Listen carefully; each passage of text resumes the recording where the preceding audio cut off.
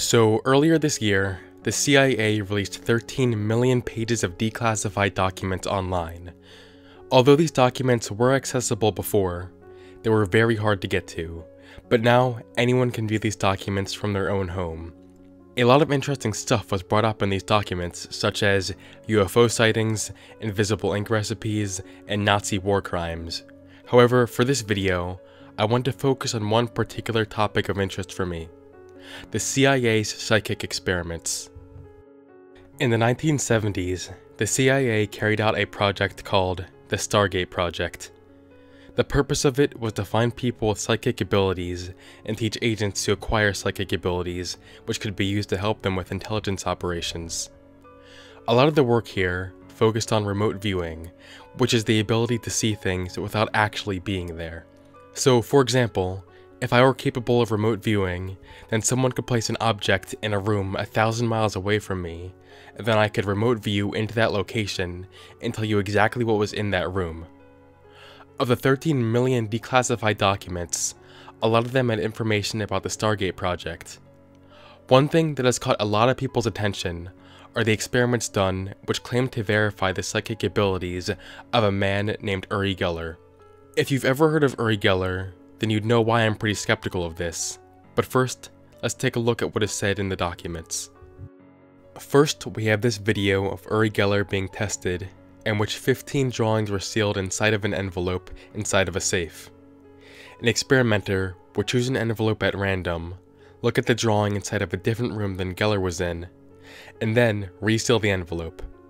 At this point, Uri Geller had to draw what he perceived was inside the envelope. In this particular video, this is what Geller drew. The drawing on top is the one that was sealed inside the envelope. As you can see, it's pretty accurate.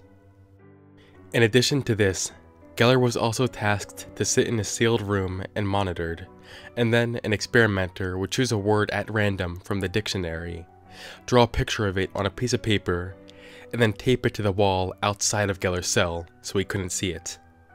After this, they'd use the intercom to tell him to draw what was on the paper. One of the words the experimenter chose was bunch, so he drew a bunch of grapes on the paper. Uri Geller said he saw purple circles, and then he drew this picture.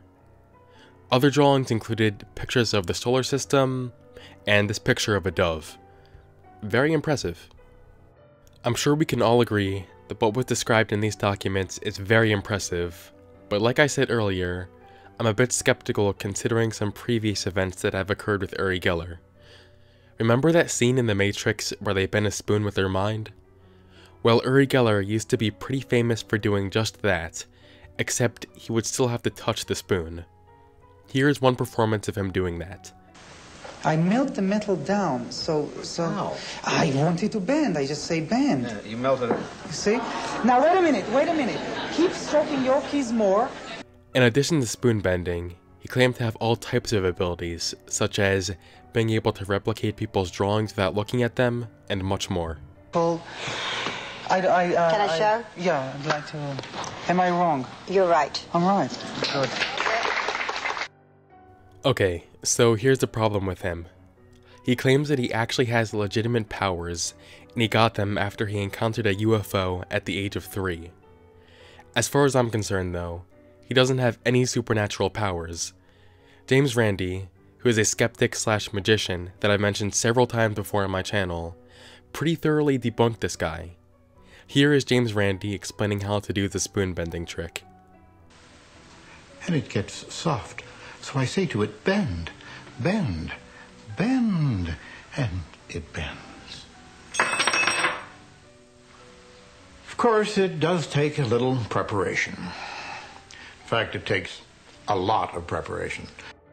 Furthermore, Uri Geller appeared on The Tonight Show to demonstrate his abilities, except the host of the show made sure that neither Geller nor his assistants were allowed near any of the props used until the performance. When it came time for Geller to show his abilities, they wouldn't work. Stark, we are back. Your Uri was telling me you, you, you don't feel what strong I tonight. don't Is that? strong. It's not all tonight. Right now, I'm feel I'm feeling being pressed, and then I can't. Well, I'm not trying to press you. I really not. Uh, you No, know, you're only I'm- telling me, well, will you try that or that or that? Well, I thought that was the idea of, uh, of, uh, no, I, I'm not, I'm not trying to put you down. So from what I've seen here, Uri Geller seems to be a fraud. So I guess I'm just curious as to how he was able to pass the test administered by the CIA. I can only think the tests given by the CIA weren't as reliable as the documents made them out to be, but obviously I wasn't there, so I really don't know. Although one interesting thing about the Stargate project was that it was terminated in 1995 since the CIA concluded it was never useful in any operation. It's also important to note that one of the reasons the project was terminated was because there was reason to suspect the project managers changed the reports so they would fit background cues. So maybe the information we were given about Uri Geller by the CIA wasn't totally accurate. That would make sense to me. Overall, I'd have to conclude that the project was flawed in thinking that Uri Geller was legitimate, since there is so much evidence that proves that he wasn't. And because of how unsuccessful the Stargate project turned out to be, the other psychics involved with it probably were not legitimate either. Keep in mind, this is just one of the many topics talked about in the recently declassified CIA documents. If you want me to talk about some of the other areas of interest in the documents, just let me know in the comments. Thank you for watching, and I will see you on the flip side.